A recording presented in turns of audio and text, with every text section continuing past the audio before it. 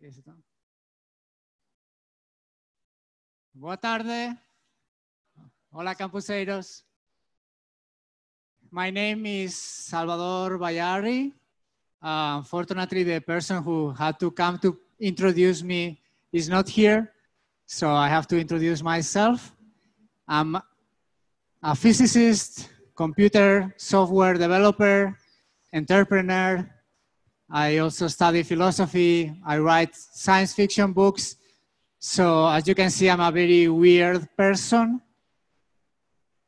And I'm going to talk today about another strange person whose name is Philip K. Dick. He was born 90 years ago, so we celebrate his 90th anniversary today. But unfortunately, he died when he was only 53 years old in 1982. And he died just a few months before one of his books was released in a movie, maybe you've heard about, called Blade Runner. So until Blade Runner, he was not that famous. After that, he became very famous. Not only Blade Runner, there are a lot of movies based on his books, novels, and short stories. So maybe you've seen Minority Report, you've seen uh, Scanner Darkly, maybe. So there are all these Hollywood movie adaptations. Of course, they change a bit the story, but you can feel some of his ideas there. He had this idea that our reality is not real. We'll talk about that later. He mentions fake memories, alternative realities, artificial beings, even today, we continue having a very strong influence in our culture from Philip K. Dick. You maybe have seen Amazon's show called The Mine in the High Castle, based on one of his novels from 1962, where there is an alternate reality in which the Germans and the Japanese won the Second World War. But most interesting within that alternate reality, they find a book that describes another alternate, alternate reality, which is like our own. So in the end, you don't know which one is real. That's the key concept of many of Dick's stories. You can also watch now a very interesting series of episodes called Philip K. Dick Electric Dreams, based on short stories from the 50s and the 60s. But his influence is not only in these direct adaptations of his stories.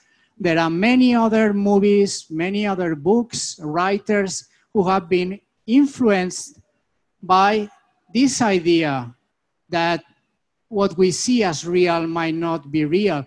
Of course, you know, The Matrix, you know, uh, Christopher Nolan's Inception, where people get inside a dream and a dream inside a dream.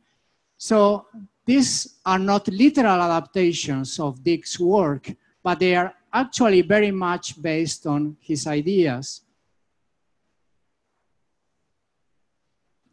So when I say that Philip K. Dick is a visionary, what, what do I mean? What do we call him a visionary? And what can we learn from his visions? So if you look at the dictionary, you can see two different meanings. A visionary can be a person that has original ideas about the future. Many of you are going to work or are working with technology and you try to predict the future and you try to be original. What uh, happened with Dick when he started writing in the 50s Science fiction was about space and alien invasions, but he changed the subject. He said, we can think about other problems. Uh, what happens if we have uh, technology to change our memory, to change our identity? So he posed different questions. He expanded the field of science fiction. And as we have seen, he had a very interesting idea what that future might be. But that's not the only way in which Philip K. Dick is a visionary. A visionary can be also somebody who has actual visions, different state of consciousness. He can have a dream, he can have some kind of supernatural apparition that tells him something that he doesn't know. So actually, Philip K. Dick was also a visionary in this other sense. He had visions. And sometimes that was very difficult for him to understand and to interpret. And you can see the fight that he had with those visions in the, in the stories. But it's a very important part of who he was and why he had these questions. For instance, one simple vision that he had one day, he was sleeping with his wife and he wake up in the middle of the night and just like we would all do, tries to go to the bathroom and he tries to switch on the light in the bathroom. But the light cord for the light was not, the light was not there. So he was shocked because something seemed to have changed in his reality. After that, his wife explains to him that they never had a light cord in the bathroom. It was always a switch. So he, this creates a lot of dissonance for him. What is happening here? Because I cannot be wrong. I have this memory of a light cord, okay? Uh, by the way, this same scene can be, can be seen in the movie, the movie Mr. Nobody. They use this idea of the, of the light switch in the bathroom. Another vision that he had sometimes some elements in reality will change or move or appear something, somebody somewhere else. Uh, in one of his books, Time Out of Joint, he describes these visions. And he says that they are a symptom, they are a window into an alternate reality that is hidden from us. Of course, he lived in a time in the, in the United States in the 50s where there was a lot of paranoia. So, I mean, people really thought very crazy things. They were so scared of communism and the United and the Soviet Union that they would come up with the weirdest ideas of infiltrators and saboteurs. And there was, uh, you know, witch hunting in Hollywood because they didn't know who might be working for the Soviets.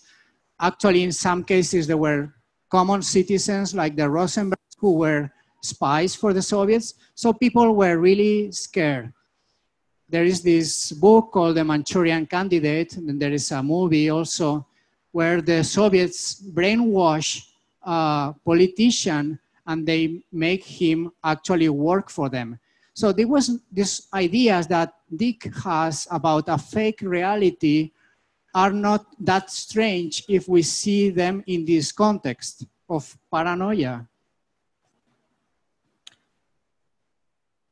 but he had very definite ideas about how our reality could be changed or we could live in a different world that we, we look, we, we seem to be living. For instance, one of his famous books is Ubik. In Ubik, uh, the, this is a kind of a spoiler, but okay, we, we have to interpret the book. Uh, the characters are actually dead, and but they don't know. So they they live in a reality where where things are decaying, things are being broken, and this a symptom that they are dying. Of course, you know about the movie The Sixth Sense, where you know the main character is dead all the time. So it's a similar thing. That's one idea. We might be dead. We might be dreaming. Uh, some other of his stories, they live in the consciousness of somebody else. So they, they see the reality through the eyes of somebody else. For instance, in Eye in the Sky is a group of people and they go from one consciousness to another. So for instance, if one of the person is a paranoid, they see their world through the eyes of this paranoid person and they try to fight him using his own paranoia. Sorry. But he also anticipated the idea of virtual reality as we know it. In A Maze of Death, this is the crew of a spaceship and they are using virtual reality to escape their reality. But it turns out the virtual reality is even worse than the real reality. But he investigated different ways in which what we perceive might be fake, might be false. One of his most uh, difficult visions was of a huge eye in the sky, and there was a big, like, God figure in the sky controlling us. He used this idea for one of his books, The Three Stigmata of Palmer Eldritch. He was so scared after writing this book that he never read it after writing it because he actually had this vision, the vision of a, in this case, is a millionaire, um, technology mogul. He's so powerful that he develops a drug in which we can go all into a shared hallucination created by the drug, and he controls this hallucination. So he controls our reality. It's a very scary idea. These visions became even more powerful in the last decade of his life in the 70s. He had a kind of religious experience. Uh, there is a very nice cartoon explaining everything that happened. So he suddenly got hit by a pink ray of light that hit in, in his brain and transmitted a lot of information to him.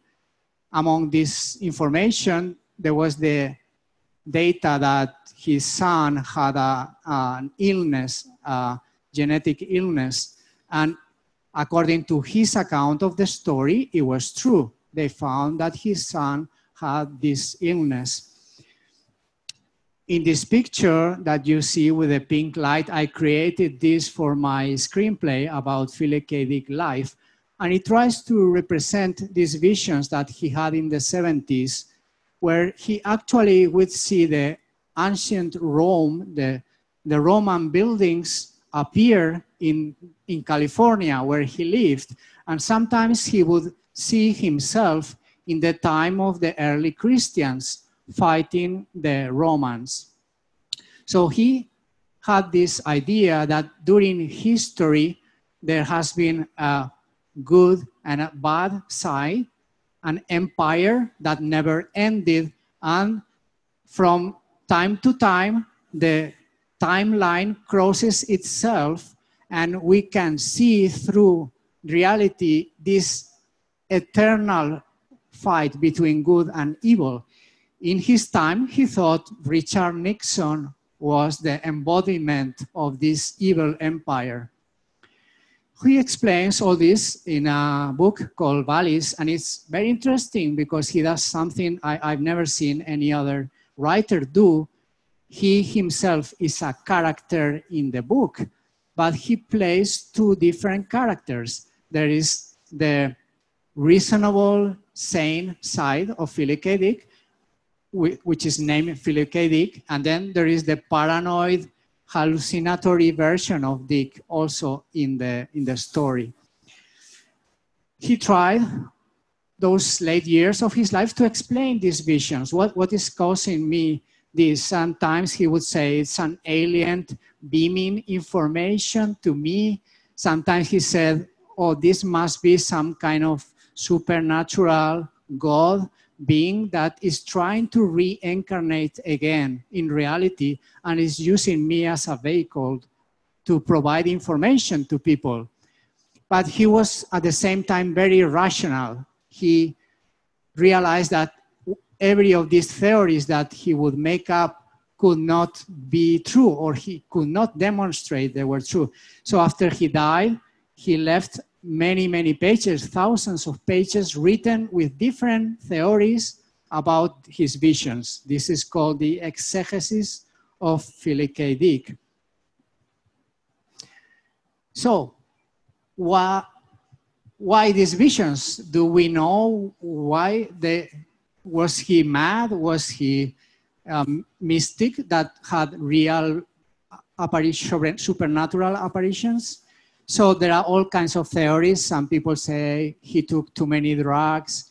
Some people say he was uh, psychotic and he heard voices. We don't know. Uh, he actually didn't take hallucinatory, hallucinatory drugs. He didn't like LSD. It was very bad for him. He had bad experiences. But he took a lot of amphetamines because he worked writing a lot at night. And since he was little, his mother would feed him uh, medicines that were actually amphetamines. So he got used to having these kind of drugs. And that might have affected his vision or his sense of reality.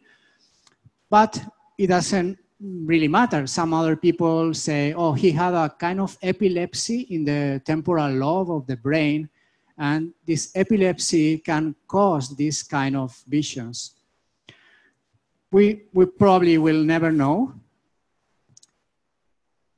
but maybe in a different time, in ancient times, he might have been considered a prophet, like the prophets you find in the Bible or other religions, because he had this vision of a different world and he tried to communicate this vision through his books what is more interesting for us is there's also the idea that Philip K. Dick was really a prophet in the sense that he predicted or he anticipated the future that we live today. So you can see, for instance, in this article, it's just a few days ago, it was published a few days ago, and they discuss, you know, about dystopias, right? Dystopias are stories that paint the picture of a very bad world that might look like our world, and it's a way to criticize current aspects of our society.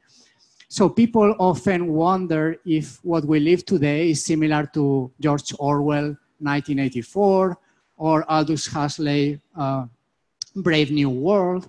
But actually, many people say it's more similar to the way Philip K. Dick saw the future. Why? We will discuss about it, but basically what we see is our ideas about reality and identity are manipulated and are being confused.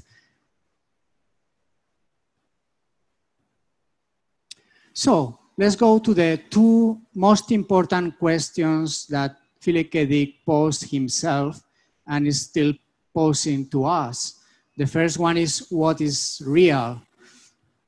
This, of course, is a very philosophical, metaphysical question, but for him, because of his visions, was a very personal question. I like to explain that virtual reality, in a wide sense, is not only that you wear some helmets and you get immersed in this simulation. All our culture can be seen as a virtual reality device. Why? Because we built from the beginning ways to transmit information that is not in our genes, is not in our brains. It has to be transmitted from one individual to another, from one generation to another. And to do this, we create fake realities, a story, a myth, a God. These are fake realities that we invent to explain something and are transmitted from one generation to another. In the modern times, we have very sophisticated ways to create fake worlds. We have literature, we have opera, we have the movies, and it gets more and more real. It looks more and more real. And we get to the current time where we can simulate a lot of what our senses feel in the real world. So it's getting to the point maybe where we cannot distinguish real reality and virtual reality, or we might get to that point. Some examples that we can think of right now, how the distinction between virtual and real is getting blurred.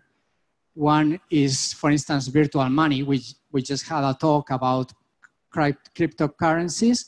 This is a little bit different. It means there is money that is used in a virtual world, for instance, in an online game, but this money, which is virtual, is also connected to reality because people have to use real money to buy it.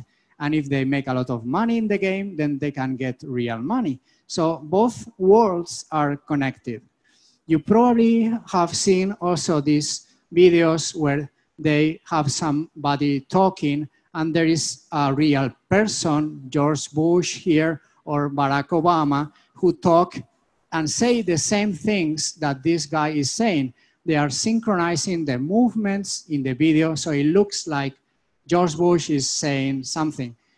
This is very cool technology, but of course, it makes us wonder from now on, we have to wonder if everything that we see in a video is real or not. We have seen virtual actors. We have seen the, the last example is interesting because they simulate hallucinations. They are get, either using a normal video recording and simulate how people who are psychotic or who take hallucination drugs, they would see this image. So they can even create this hallucinatory experience. We have today uh, but a new battleground in the virtual and real worlds. One phenomenon that we can see very clearly is we have more and more information. We have access to so much information nobody in the entire history of the world had história do mundo teve. Nunca antes a gente teve tanta informação como a gente tem na internet e em outras mídias. Então a gente precisa fazer o quê? A gente precisa filtrar essas informações. Não dá para absorver todas as informações produzidas na web ou em todos os outros ou as outras mídias. A gente utiliza algoritmos para filtrar essas informações para que a gente possa ver o que é realmente interessante para a gente. Mas isso pode ser um problema, né? E se os algoritmos estão usando o viés de outra pessoa? Ou seja, eles podem nos mostrar coisas específicas, eles podem interpretar quais são os nossos interesses e reforçar isso. Então, esse filtro nos faz questionar: será que a gente está enxergando tudo o que existe? Ou será que a gente só está vendo uma visão estreita e parcial da realidade? É claro que esses filtros que a gente tem nas mídias sociais podem ser, podem estar cheios de notícias falsas, famoso fake news. Então, isso se tornou um novo campo de batalha. Tem gente que trabalha e se dedica para criar notícias artificiais, notícias falsas. Mas o problema não é só que outra pessoa pode controlar esse filtro. O problema também está com a gente. A gente criou esse filtro com as nossas preferências. Então, quando a gente começa a assistir coisas e fazer pesquisas na internet, o algoritmo filtra outras coisas e exclui elas das nossas buscas, porque ele vê que a gente está interessado num certo tipo de coisa. Então, a gente está reduzindo e estreitando a nossa perspectiva, simplesmente pelo que a gente busca. É aquela questão do ovo e da galinha, né? Quem que veio primeiro? Então, outra questão com a mídia social é a seguinte: nós somos muito sensíveis quando alguma pessoa diz algo que a gente não concorda, é ou não é? E muitas vezes a gente filtra o canal dessa pessoa, a gente exclui a opinião dessa pessoa, a gente fala isso não faz sentido, isso não tem nada a ver, eu não tenho interesse nessa opinião, esse cara é louco. E quando a gente faz isso, a gente também cria uma certa realidade virtual ao nosso redor. A gente cria uma bolha social, onde a gente só ouve e lê coisas que a gente concorda. Então, outra forma que nós estamos criando essas diferenças é através das mídias sociais. Em muitos casos, as realidades virtuais são muito extremas. Tem gente que realmente acredita até hoje que a Terra é plana. Essas pessoas têm comunidades, elas têm os seus próprios sites e elas reforçam as crenças umas das outras. Então, isso é um perigo. A tecnologia nos dá uma forma de poder nos fechar nessa bolha, nessa, nessa realidade virtual pessoal. Outra grande questão que o Philip K. Dick sempre tratou no seu trabalho é o que é humano, o que significa ser humano. Isso começou porque ele visitou a Disneylândia com a família dele lá nos anos 60. E eles tinham essa exposição onde eles mostravam uma versão animatrônica do presidente Lincoln, um robô do Abraham Lincoln, né? E ao mesmo tempo, o Philip K. Dick estava fazendo uma pesquisa sobre nazistas para poder escrever o Mining the High Castle.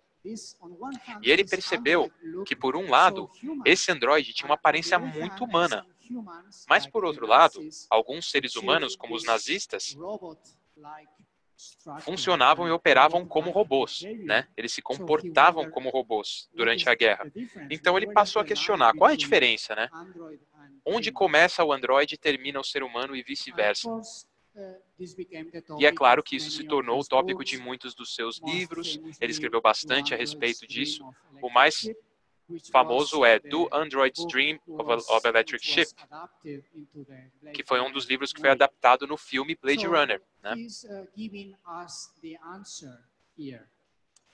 Então ele está dando uma resposta para a gente aqui. Então, só lembrando que o Blade Runner foi baseado no Android Sonham com Ovelhas Elétricas.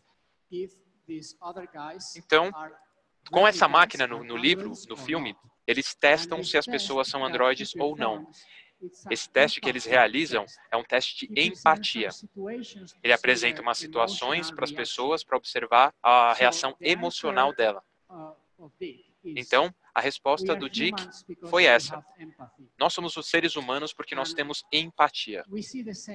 E nós vemos a mesma coisa, o mesmo tópico na nova adaptação do filme Blade Runner que foi lançado recentemente. Esse personagem, o Kay e a Joy, que o Kay é uma pessoa e a Joy é um ser de inteligência artificial, os dois se tornam seres humanos, no sentido que os dois aprendem a ter sentimentos e se sacrificar para outras pessoas. Então, o que, que o Dick está dizendo? Ele diz que a diferença entre seres humanos e aqueles que não são humanos não se trata do fato da gente ser de carne e osso. Não é por nós sermos máquinas ou não. A diferença e a característica que define o ser humano é a capacidade de sentir empatia, quando você pode ter sentimentos por outras pessoas. Aqui a gente tem um episódio no Electric Dreams do Philip K. Dick que lida com o mesmo tópico. Esse cara aqui é um ser humano, ele é um, gen um general, mas ele é um homem horrível. Né? Ele é um cara muito abusivo com a esposa dele. Então ele vai para outro planeta e o, e o avião dele é o, perdão, o cérebro dele é capturado por um alienígena. Nesse sentido, o cérebro dele se torna um, um alienígena, mas ele se comporta como ser humano. Dessa forma, ele, ele começa a tratar a esposa muito bem e a esposa dele se apaixona novamente por ele. Então, qual é a mensagem do Philip K. Dick? Ele está dizendo que a empatia é muito importante. Então, de fato, nós vemos muitas adaptações onde nós vemos robôs e, ao mesmo tempo, como eu disse, ele mencionou, ele, ele dizia que os seres humanos podem ser como robôs. Então a gente tem que ter muito cuidado com o que a gente faz com a nossa realidade, pessoal, porque a gente pode mudar ou definir nossas realidades como os nazistas fizeram.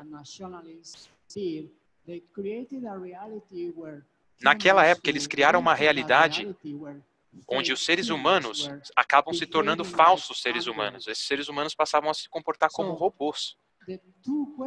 Então, as duas questões estão interrelacionadas. Como nós definimos e criamos as nossas realidades. Isso tem a ver com a questão da nossa identidade como seres humanos. Tem essa cena, né? Nesse filme que eu adoro. E ele tem que decidir, é o Vingador do Futuro, né? Eu adoro esse filme. Ele tem que decidir se ele vai sair da alucinação ou não. Tem um livro muito interessante que se chama Scanner Darkly, também, que também se tornou um filme, que trata de um policial. Esse policial trabalha investigando narcotraficantes. Mas ele mudou a identidade dele tão bem que no final das contas ele nem sabe se ele é um, traf um traficante, se ele é policial, porque ele se identifica tanto com aquela realidade que ele esquece. Ele nem sabe mais se ele é um policial ou se ele é um traficante. Então, muito interessante. So this is então, agora eu vou entrar numa questão pessoal do Dick. Né? A gente viu como é que é a visão dele, como que era a preocupação dele em relação a esses tópicos, mas a gente também pode falar que isso é uma questão política, né? essa questão da realidade e da identidade. Hoje em dia tem muita ansiedade no mundo. A gente tem uma vida de muita qualidade comparada com os tempos antigos. A gente não tem tanta pobreza, a gente não tem mais tantas mortes, a gente tem uma expectativa de vida maior, mas a ansiedade é muito grande, em parte por conta dessa desigualdade econômica que a gente tem. Mas a gente também tem muita ansiedade porque a nossa realidade e a nossa identidade tem se tornado cada vez mais complexa e a gente se sente ansioso com isso. Eu coloquei aqui um exemplo na tela do meu país, do que acontece lá na Catalunha as pessoas estão tentando redefinir a sua identidade. Nós vemos diferentes países, diferentes referências. Então, a questão não é só teórica, não é? É uma questão muito importante. Outra fonte de ansiedade a respeito da nossa identidade é muito real. Isso vai acontecer cada vez mais. É a nossa relação com a inteligência artificial. Aqui a gente tem alguns exemplos na tela. Isso é outra consequência das novas tecnologias. A relação entre as pessoas está mudando. A gente está cada vez mais usando a tecnologia como intermediário. A gente não se conecta mais com as pessoas. Agora tem empresas que já estão vendendo robôs animatrônicos e androides muito realistas para que você possa ter companhia. E essa tendência vai continuar, como nós vimos no Ex Machina e outros filmes. Na verdade, a inteligência artificial vai ter que ajudar as pessoas, vai ter que ajudar com a relação entre as pessoas, porque nós estamos cada vez nos desconectando mais das formas tradicionais de relacionar. Outro bom exemplo é o filme Ela, que é um filme muito interessante, porque o personagem se apaixona com o seu dispositivo, com a sua assistente de inteligência artificial. Para mim, tem uma parte interessante no filme que a, a inteligência artificial, né, ela, ela também se desenvolve, ela evolui e aprende a como ter sentimentos. Então a gente tem uma mão de duas vias aqui. Nós vamos aprender a nos relacionar com a inteligência artificial, mas o contrário também vai acontecer. As ferramentas de inteligência artificial vão aprender sobre os nossos sentimentos para ter mais empatia. Nós já temos alguns assistentes que nos ajudam com as nossas vidas diárias. Nós temos robôs que trabalham em hospitais para dar apoio emocional às pessoas que estão lá doentes, precisando de ajuda. Então, nós estamos no momento crítico para a tecnologia. Nós temos que entender como a tecnologia vai ter empatia. E esse é um dos aspectos porque, pelos quais nós precisamos de mais mulheres trabalhando com tecnologia. Estudos sugerem que as, as mulheres se interessam mais pela tecnologia quando o trabalho não se resume só a partes mecânicas engrenagens e parafusos. É mais sobre como você integra a empatia e o aspecto social na tecnologia. Essa tendência que vai em direção a uma inteligência artificial mais poderosa vai continuar. A inteligência artificial muitas vezes faz tarefas melhor do que os seres humanos. Não só ganhar um jogo de xadrez online, mas tarefas que seriam impossíveis para nós. Por exemplo, aprender certas coisas ou criar certos tipos de software. Então, obviamente, isso traz uma grande questão, isso é um grande desafio para nós. O que vai acontecer com a nossa identidade quando a gente tiver a inteligência artificial e os robôs fazendo tarefas melhor que os seres humanos? Então, eu não gosto de interpretações extremas dessas questões. Eu não gosto de nenhum de extremo para nenhum lado. Muitas pessoas acham que vai ser um desastre para a humanidade e que a gente vai ser completamente dominado pelas máquinas. Tem outras pessoas que dizem não, não, vai ser excelente, vai ser uma maravilha. A gente não vai mais precisar trabalhar, as máquinas vão fazer tudo para a gente e a gente vai ficar feliz para sempre. Eu não acho que seja um nem outro. A gente precisa aprender a viver junto. A gente vai evoluir junto. A inteligência artificial vai ser outro componente dessa evolução cultural. E essa evolução foi destacada antes pelo, ator, pelo autor. E com certeza nós vamos, nós vamos nos distanciar da nossa origem biológica cada vez mais. Porém, isso é uma questão difícil para a gente, né? Vai levar gerações e gerações para a gente realmente se adaptar a essas mudanças que são muito rápidas. Então, isso está acontecendo a nível de software. Nós nos comunicamos através da inteligência artificial, mas é claro que tem diferentes propostas, diferentes ideias para tornar isso mais viável. Tem algumas empresas que já estão trabalhando elas já começaram a criar interfaces entre o cérebro humano e os computadores, ou as ferramentas de inteligência artificial. Por exemplo, a Neuralink foi fundada pelo Elon Musk, que é o cara do SpaceX. Então, isso é um trabalho sério, esse negócio realmente vai acontecer. Existem projetos existem plantas e planos para mostrar como nós podemos nos desenvolver nas próximas décadas, considerando que a gente vai diminuir as nossas limitações biológicas. Uma forma seria criando cor corpos artificiais.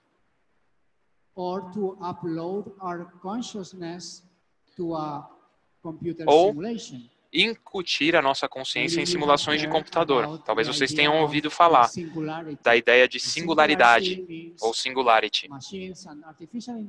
A ideia de singularity diz que as máquinas e as ferramentas vão se tornar tão sofisticadas que, de alguma forma, nós vamos poder integrar com elas, porque a gente vai estar no mesmo nível que as máquinas, mas elas vão se evoluir mais rápido.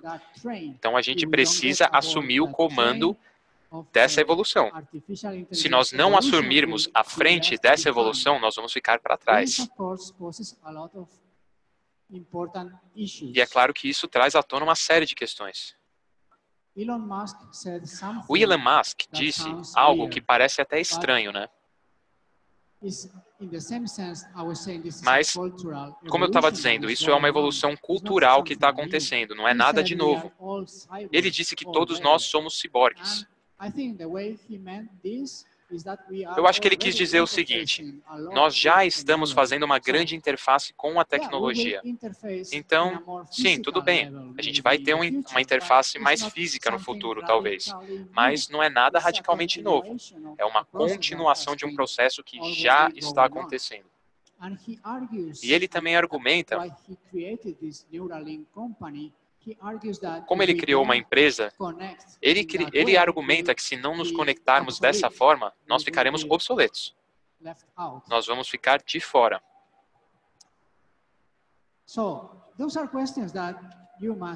Então essas são perguntas que a gente que a gente tem que se fazer, né? Porque a gente vai criar esse futuro. Isso vai acontecer na nossa vida e todos vocês vão participar desse processo de um jeito ou de outro. Agora eu vou falar sobre uma lição mais pessoal que a, que a vida de Philip K. Dick deixa para nós. Se nós somos visionários, nós temos que embarcar nessa evolução.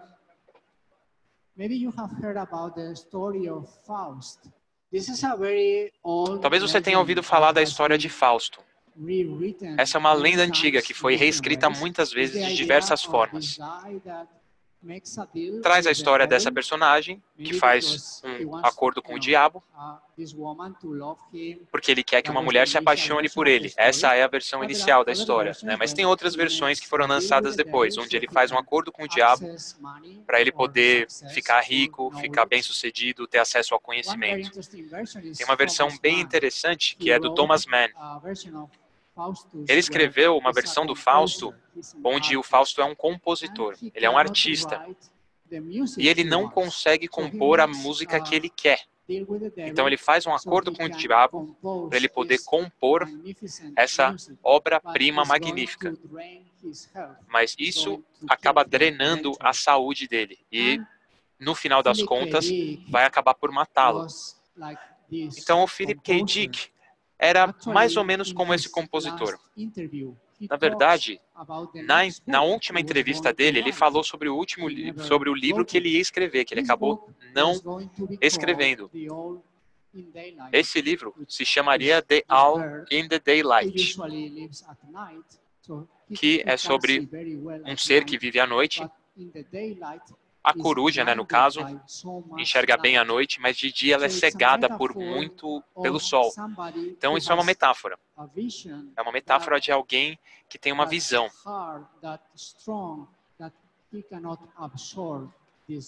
E essa é uma visão tão forte que a pessoa não consegue absorver. E isso é exatamente o que aconteceu com o Philip K. Dick.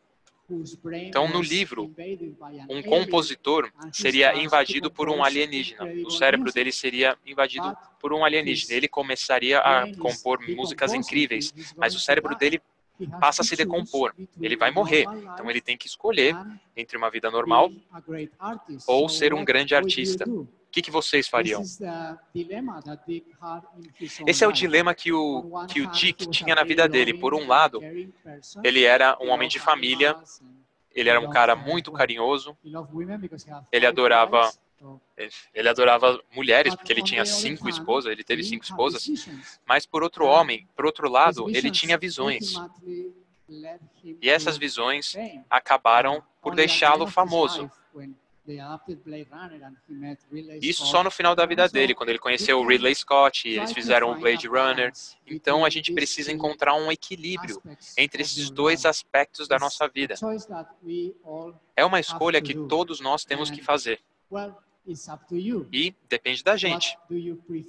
O que, que vocês preferem? É muito difícil ter as duas coisas. Então, eu agradeço muito pela atenção de vocês. Vocês podem fazer perguntas se vocês quiserem, podem perguntar sobre o Felipe K. Dick ou qualquer outra ideia que eu mencionei. Obrigado. Muito obrigado.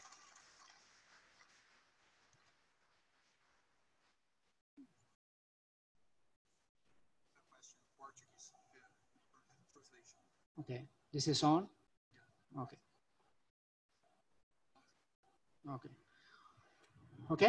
É, Pessoal que está com radinho pode fazer perguntas aí, que ele tem um radinho de tradução. Qualquer pergunta sobre o Philip K. Dick, qualquer pergunta sobre a importância da ficção científica no nosso mundo atual, podem fazer.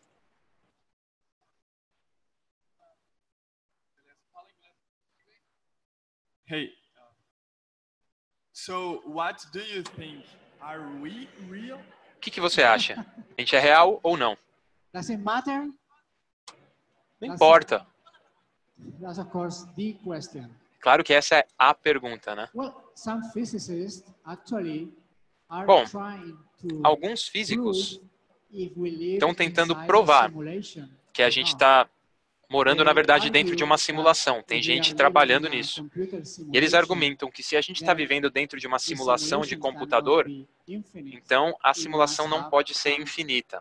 Ela precisa ter alguns, algum tipo de, de fim. Precisa ter algum alguma partícula que simula o nosso mundo. Então, eles fazem experimentos de física para ver se tem alguma ruptura no tempo e espaço, para ver se o tempo e espaço é feito de pequenos cubos. Tem gente que acredita que a gente vive numa simulação. Eu acho que o jeito que eles tentam resolver essa questão não está correto. Né? Tem muita, muitas formas da gente simular a realidade com um grande nível de detalhe em termos do que a gente vê. E a gente vê isso nos simuladores, né? Conforme você chega mais perto de alguma coisa ou de um objeto, ele fica mais detalhado. Então eu não sei se dá para provar se a gente vive ou não dentro de uma simulação de computador.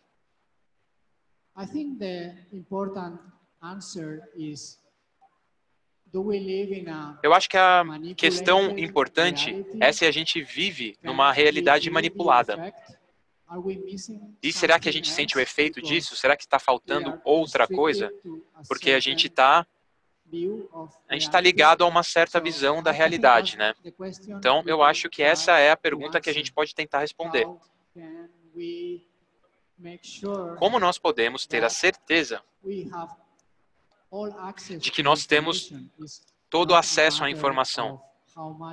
Que não é uma questão de quanta informação, mas uma questão de filtros, né?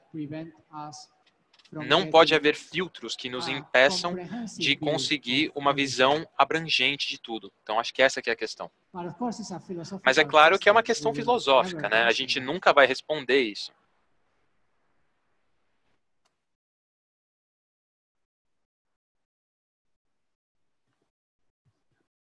É, você falou sobre implantar You said something about implanting our consciousness in a robot.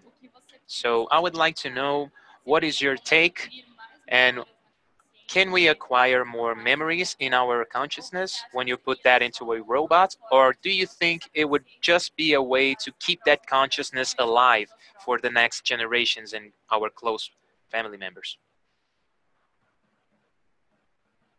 Okay, that's another of the great Bom, essa é uma outra grande questão filosófica, né?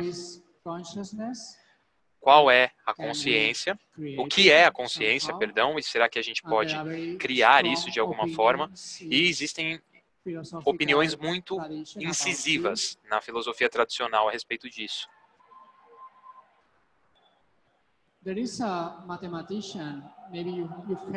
Tem um matemático que talvez você conheça porque ele fez um filme recentemente chama Alan Turing. Ele foi um dos matemáticos que decodificou os códigos alemães na Segunda Guerra Mundial. Mas o trabalho teórico dele foi até mais importante. Ele criou a base para os computadores atuais. Então, uma das perguntas que ele sempre fez foi: será que os computadores podem pensar? Ou será que eles vão conseguir pensar um dia? E ele percebeu que é muito difícil definir a consciência ou o pensamento. Então ele mudou a pergunta. Ele disse: Eu não sei como responder isso, eu não sei como essa pergunta pode ser respondida. Para mim, a questão é a seguinte: será que nós podemos distinguir quando estamos lidando com o computador e quando estamos lidando com o ser humano? Com todos esses aspectos, sentimentos, empatia. Porque se chegar um momento onde a gente não consegue distinguir, aí não importa. Se ele se comporta como se tivesse consciência, então ele tem uma consciência. Porque eu não sei se você tem uma consciência. Eu sei que eu tenho. Porque eu moro dentro da minha cabeça. Eu, não, eu, eu sei o que eu penso, mas eu não sei o que você pensa. Então é bom que a gente possa utilizar esses critérios de comportamentos, né? Mas aí tem a questão. Será que a gente pode criar essa consciência? Uh, Eu acho que em algum momento, se você aceitar que nós somos feitos de moléculas, o cérebro é realmente um organismo complexo eu acho que é provavelmente o objeto mais complexo do nosso universo. Então, é muito difícil simular a atividade cerebral. A gente precisa simplificar muito um modelo de computador para isso. Mas talvez a gente seja capaz de criar uma estrutura neural que se comporta muito de maneira muito parecida com a nossa. O nosso cérebro é diferente, o cérebro de todo mundo é único. Redes de computadores e redes neurais são muito diferentes, então a gente teria que criar uma coisa distinta para cada indivíduo. Eu acho que no, em algum momento vai ser possível, porque de alguma forma a computação sempre evolui, não é? Então, isso seria outra interpretação daquela questão da singularity. A gente vai chegar num nível onde a gente consegue simular todos os processos do cérebro e a relação deles com o corpo. Mas eu acho que essas coisas não acontecem da noite para o dia. Então, com certeza, vai ser uma evolução. A gente vai evoluir com essas interfaces neurais.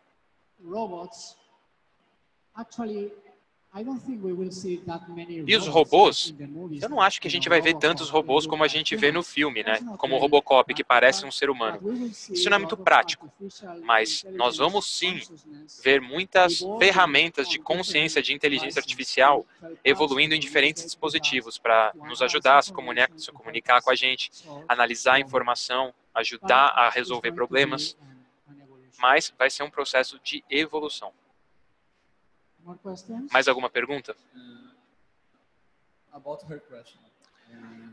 Comentando sobre a pergunta dela.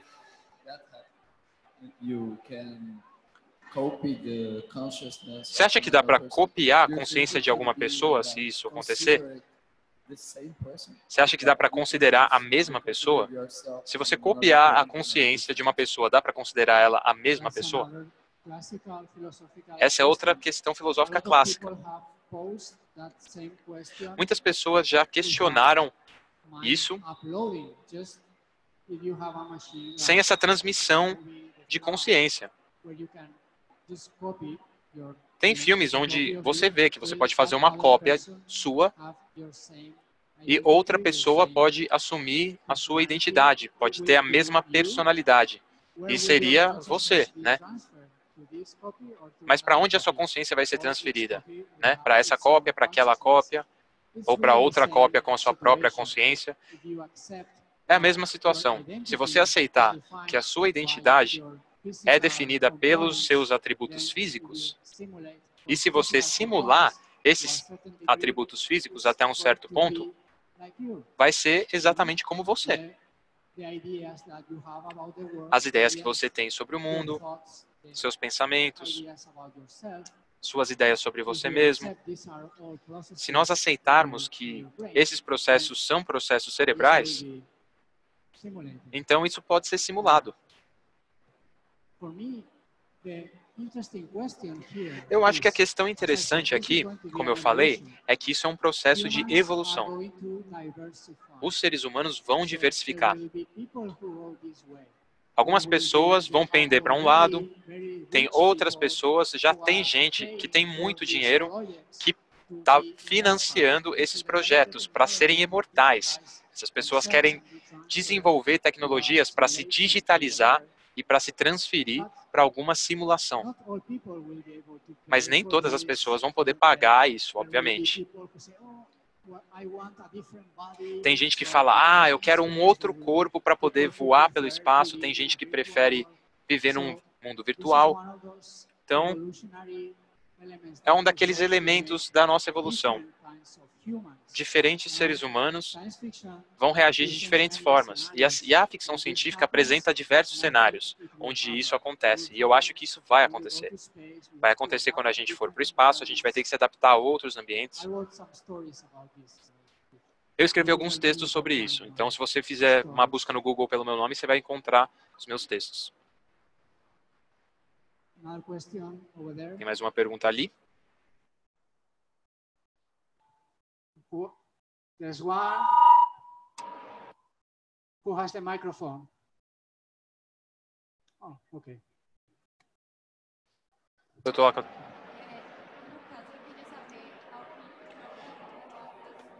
I would like to know uh, Dick's opinion and your opinion.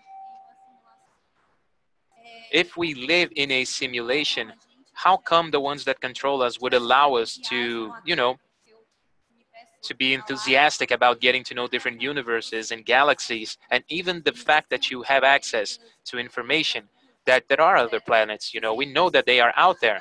Is this part of the simulation, or is this maybe a lie that is perpetrated? You know, I mean, if uh, has the has Philip K. Dick said something about this at some point, and what is your opinion about it? Okay, good question. So I explained that Dick had this intuition that Bom, como eu disse, o Philip K. Dick tinha uma intuição que a nossa realidade não era exatamente o que ela parecia. Tem alguma coisa por trás, né? E ele acreditava que tem algum tipo de inteligência por trás disso. Tem um filme que chama Vast Active Life Intelligence System. Ele escreveu esse livro, ele sabia que tinha alguma coisa lá fora, mas ele não sabia exatamente o que, que era. Às vezes ele achava que era, de repente, um extraterrestre fazendo um, um experimento com a gente, todo tipo de coisa. Como ele não sabia o que estava acontecendo, ele escreveu sobre isso. Talvez seja um ser mais inteligente, um ser superior que esteja nos, se comunicando conosco. Mas ele não sabia o que, que, ele era. Isso é uma questão muito comum na ficção científica e existem várias respostas para isso. Um dos meus autores favoritos é um polonês. O nome dele era Stanislaw Lem.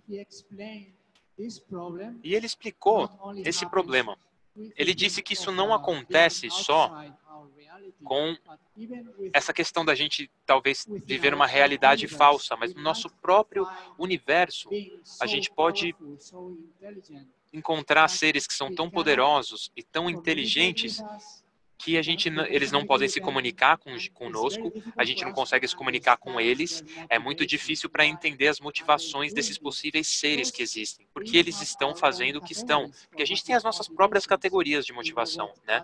A gente sabe o que é altruísmo, a gente sabe o que, que é a lei, a gente sabe quais são os nossos instintos, instintos territoriais, mas outros seres podem ter instintos totalmente diferentes e outras motivações. Pode ser um cientista fazendo um experimento.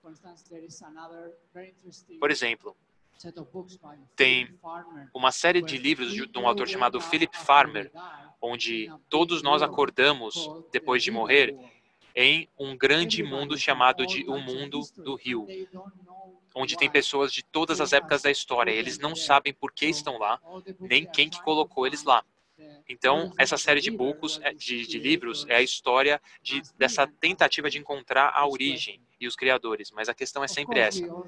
É claro que todos nós queremos encontrar um significado na nossa existência. Né? Então, essas são as perguntas tradicionais feitas de outra forma. Mas eu acho que é uma dessas respostas que a gente precisa ter uma busca pessoal, a gente precisa responder na nossa própria vida. E no final, a gente precisa criar o nosso próprio significado.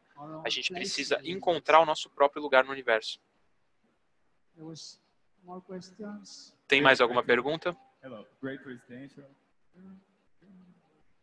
Okay. Uh, Eu quero saber se você acha se, se você acha que os son, que os sonhos elétricos realmente refletem o que o Felipe falava sobre o futuro. Será que reflete essa visão ou não? Ok. Muita gente discutiu isso, né? Qual é o nível de fidelidade disso? E é muito mais fiel, muito mais realista do que os filmes de Hollywood, com certeza. Parece que é uma coisa mais antiga, né? A forma como eles mostram as histórias, porque essas são histórias que foram escritas nos anos 50 e nos anos 60. Então, elas são um pouco antiquadas. Essa ideia de realidade falsa e de memória falsa na época era muito inovadora. Agora a gente está acostumado com isso. A gente vê isso nos filmes o tempo inteiro, então isso não é tão surpreendente hoje em dia.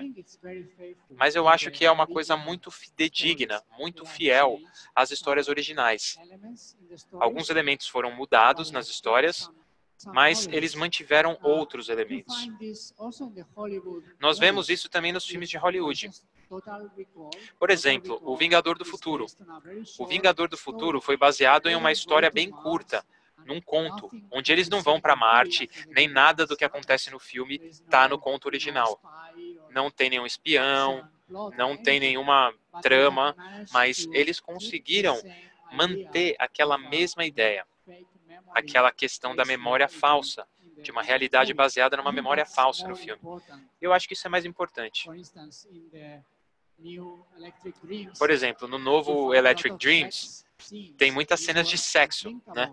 Isso era impensável antigamente. Nos anos 50 e 60 não dava para fazer isso.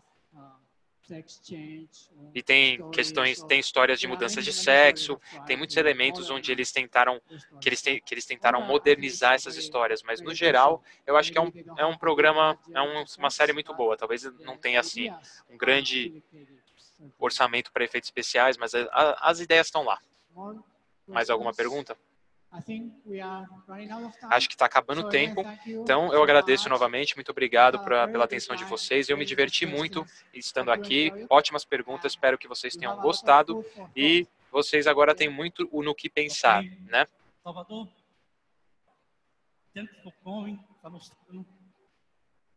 Saludos. Ah, pessoal, eu fico feliz que vocês se interessam por Philip Dick, né? Foi essa ideia que a gente pegou para homenagear os 90 anos. E só para pegar aqui a carona, Salvador é um escritor de ficção científica também, tá? Eu não sei o quanto de Philip Dick tem na, na obra dele, mas depois a gente pergunta para ele.